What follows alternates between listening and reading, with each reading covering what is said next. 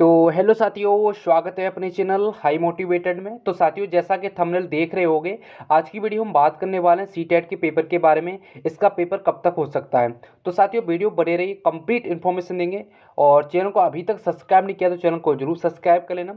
तो साथियों, आपको बता दूँ, जो सबसे पहले, यानी कि जो पब्लिक नोटिस अभी वायरल हो रहा था, ये पूरी तरीका से फेक है। ठीक है? पूरी तरीका से फेक है। मगर आपको बता दूँ, कोई अभी तक जो आयोग की तरफ़ से कोई, यानी कि जो नोटिस अभी तक जारी नहीं हुआ है, जो ऑफिशियली हो, एक एक्सपेक्ट लगा सकते हैं कि आपका पेपर अब तक हो सकता है। सबसे पहले आपको बता दूँ, ये यानी कि जो, यानी कि जो पेपर जनवरी में क्यों जा सकता है, यानी कि ये जिसकी जो करेक्शन डेट थी, पहले तीन तारीख बताई गई, उसके बाद उन्होंने क्या किया, नौ तारीख कर दी। उसके नौ तारीख के बाद उन्होंने क्या कर दिया आप ग्यारह तारीख कर दी है, ग्यारह ग्यारह दिसंबर कर दी थी। इससे क्या होता है, जितने भी डॉक्यूमेंट हो, जो री अपलोड हुए तो उसमें टाइम लगता है। तो आपको बता दूँ, यानी कि अभी जी न्यूज़ ने भी आज की जो न्यूज़ है इसने भी कहा है कि जो आपका पेपर है, ठीक है? यानी कि इन द लास्ट दिसंबर, यानी कि 25 25 टू एंड के दिसंबर इकतीस, admit card will like to available from अठारह दिसंबर।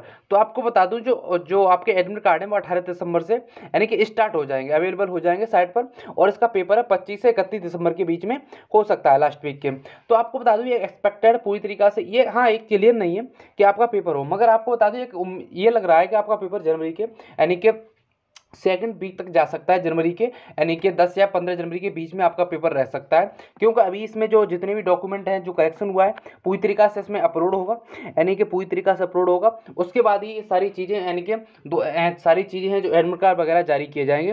तो आपको बता दूँ, आपका जो पेपर है जनवरी के महीने में जाने वाला है। वो दस और पंद्रह जनवरी के बीच में आपका पेपर हो सकता है। ठीक है? और अभी जो, कोई भी जो ऑफिशियली नोटिस जारी नहीं हुआ है, एक एक्सपेक्टेड है कि आपका पेपर हो सकता है। ये जी न्यूज़ ने आज ही आज ही पब्लिश किया था, उन्हें कहीं से पता चला होगा सूत्रों के अनुसार एक्सपेक्ट उन्होंने भी लिखा है, ठीक है? तो आपका पेपर है, यानी कि ये तो लोग कह रहे हैं कि जो आपका पेपर है, पच्चीस से इकतीस दिसंबर के बीच में हो सकता है, और जो आपके एडमिट कार्ड है, अठारह दिसंबर को पब्लिश हो जाएँगे। मगर ऐसा नहीं होगा, जो आपका जो पेपर है, जनवरी के माह में जाने वाला है, और एक उम्मीद है कि लगभग दस से, दस या पंद्रह तारीख के बीच में आपका पेपर हो सकता है। तो आज की वीडियो में रखते हैं, वीडियो आपको पसंद आए चैनल को ज़रूर सब्सक्राइब कर लेना। धन्यवाद।